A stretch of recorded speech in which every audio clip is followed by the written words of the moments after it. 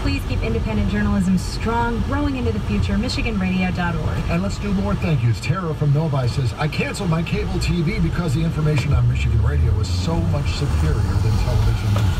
Thank you very much, Tara. And Marion Pineda says, we need to continue to support it more than ever